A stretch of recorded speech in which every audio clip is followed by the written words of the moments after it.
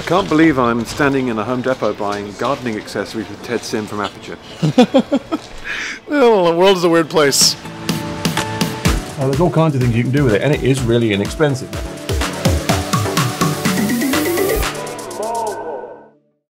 All right, Indy Mogul, we gotta talk about something. This right here is a truck that basically all Hollywood filmmakers have used. Unlike most production vehicles, it's not filled with stands or lights or costumes. In fact, this whole vehicle is actually filled with just one thing, water. Regular, ordinary water. So, what is the deal with this thing? How is regular, ordinary water getting used on so many film sets? And if it's so important, how can indie filmmakers start using it today? Well, I'm Ted. It's nice to see you again. This is Indy Mogul, and let's do this. So to find out the answer to our question, I called up my friend Phil Rhodes, a writer for the American Cinematographer, to come and actually let us know what's the deal with all this water. A lot of the time, if you- you're watching car commercials or your favorite sci-fi movie, one of the things you often see is that things are covered in water. Okay, so I get it. Water gets used to create rain. But here is my main problem. When I visit high-end film sets, sometimes they have tankers and they're shooting scenes that have nothing to do with weather or precipitation. In fact, sometimes I'll see tankers even in full daylight. What effect is being used that's worth bringing out a full truck, an operator, and who knows how many gallons of water for? So now this is just a small portion of our discussion with Phil. If you want to hear the full discussion, make sure you tune into the podcast link. We're going to put that down below. So why are we talking about water today? Water is a kind of inexpensive way to make things look better. Um, The amount it's used is enormous if you start looking at it. People don't see it because you think, oh, it's raining, it's raining, the street's wet, the street's wet. You don't really see it. It makes things higher in contrast. It makes things shine. It make, brings out texture in things. What specifically are the functions or the ways that we can use it to kind of enhance our scenes? Well, there's three things that, that spring to mind. I mean, just wetting down the ground. Number one, wet downs. If you cast water on anything, a person, a, a roadway, it decreases the diffusion of the light, to put it in technical terms. It makes it more specular. So you've got either a shine mm-hmm. or not. You either mm-hmm. see a reflection of the light source or you don't.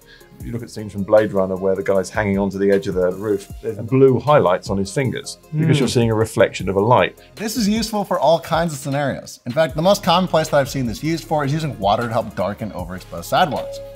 Number two, reflections. If you want to be able to see a reflection of something, then you need a pool of water. It needs to be something reasonably unbroken.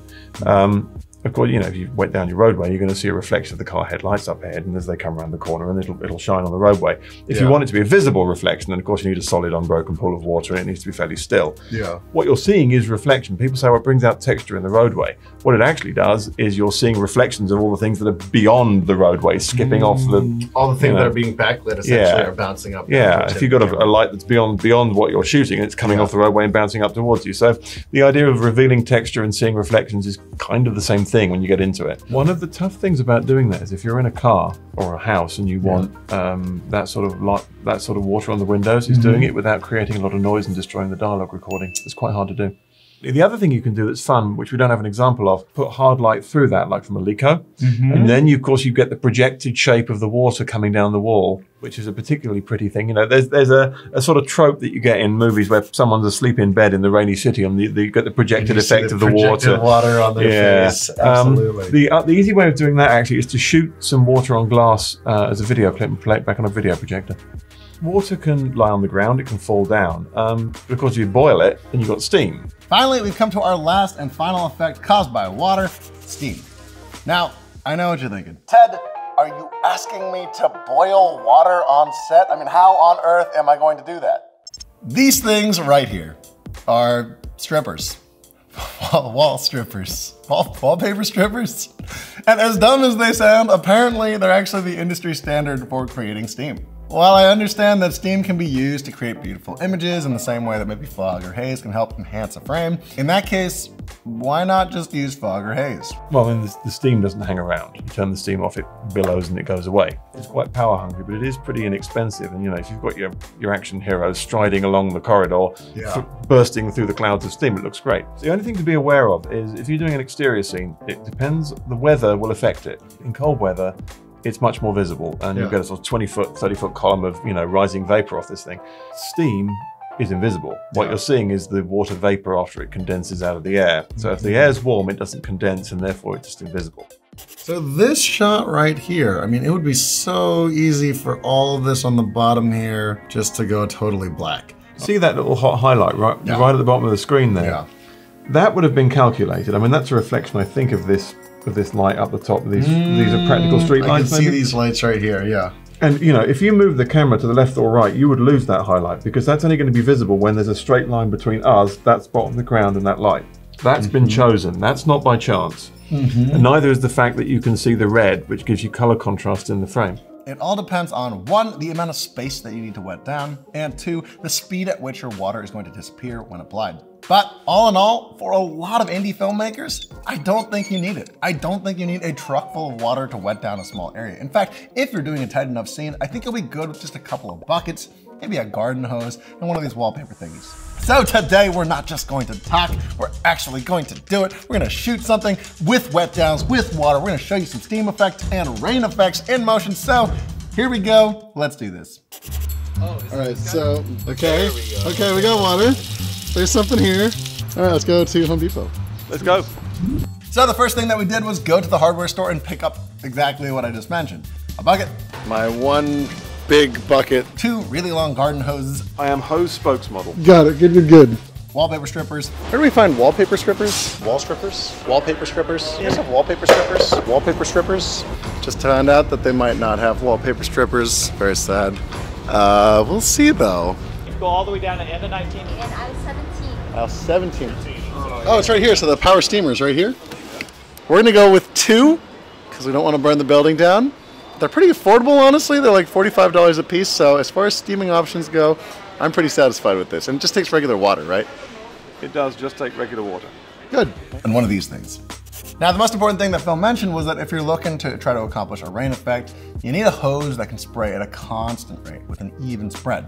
Now, after that, we went ahead and we set up our scene. Since we were inspired by Blade Runner, we decided to try and recreate a similar scene using just my motorcycle and our friend Aurelio, who didn't know what this episode was about or that he would get very wet. But shout out to Aurelio, MVP of this shoot. The next thing that we did was begin to wet down our ground. Since we were using a couple pretty simple parking lot spaces, we made a point to try to make the coverage as even as possible and try to avoid creating puddles whenever possible. After that, it was all about setting up our garden hoses to true traditional C-stands. We rigged them up straight up on the left and the right of the frame, and then pushed water pressure to max power to get the most even and heavy rain coverage that we could. Bang, blast in the air at night, don't get wet, Trey! and voila! Not only a perfect wet down, but also a great looking rain effect for next to nothing. Again, whatever the cost of water is, depends on where you are. Kind of expensive here in LA, to be honest. After this, we went to work utilizing everything we learned. We set up our frame. In this shoot, we're using a RED Helium and shooting 8K. Don't get it wet. Thank you. We will not get this. Is it overkill? Yes, but we also wanted to make sure it looked beautiful, and I wanted to show the full extent of what this water was capable of adding. Now, a couple of things I want to point out about this frame, since I know you guys are going to ask, but the talent is lit almost entirely with one light in a softbox. On the back here, we've got two lights pinging the background to introduce a little bit more color contrast, one with some orange on it, one with some green on it. But the key additional lights that we're using here are these ones right here. One on the roof, which, yes, totally climbed up on top of. And it's a hard, bright light that is being used to backlight the rain. Again, backlighting rain with a dark backdrop is the key to making it visible. Real quick before we move on, you were talking about uh, rain needing to be thicker and heavier in filmmaking than it is in actually real life. I mean, I think it's because it gets motion blurred. In reality, rain is not that visible, especially if you're only looking over a short distance. If you're looking down a, down a street, rain stops looking like falling particles and it starts just looking like fog. But backlighting it helps enormously because then each each brain drop becomes a little reflector and you've got streaks coming down. So that much- that's much more. Yeah. Anyone out there trying to cover water effects, make sure you backlight that rain, otherwise you're not going to see it. Yeah. Does it matter if it's hard or soft light?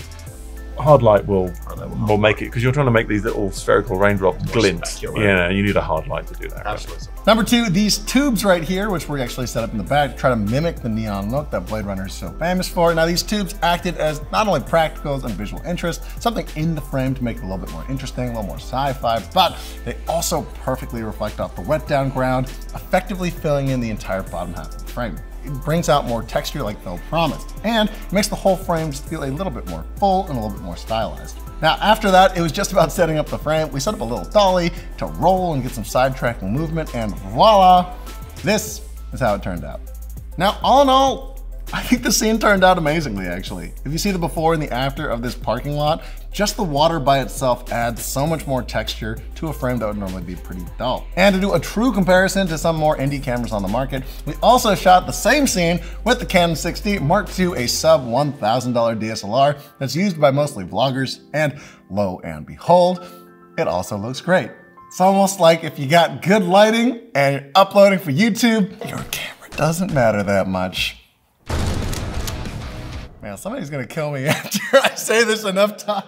Stop buying gimbals and stop buying cameras and start buying some lights. And I'm not just saying that because I run a lighting company, okay? Backlight was the key. Backlight, yeah, Um, getting the light almost firing into the camera, but not quite. Just so that light comes out of your light through Yes. the raindrop and into the lens with minimum bend. So shine, we've got the actual rain, and then we've got the steam. We had somehow three elements of water Yeah. into the same frame, but they all looked, they all work together. They're, they're different. worked, worked out quite well, I think. Yeah.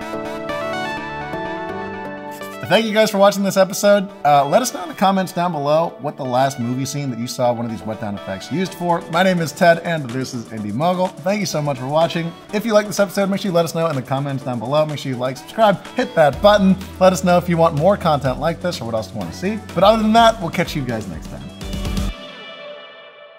I'm also not quite sure where you'd be legally with spraying water on the road if someone then slid off and crashed into a telegraph pole. if it's that oily water or Yeah, at people's Ooh, yeah.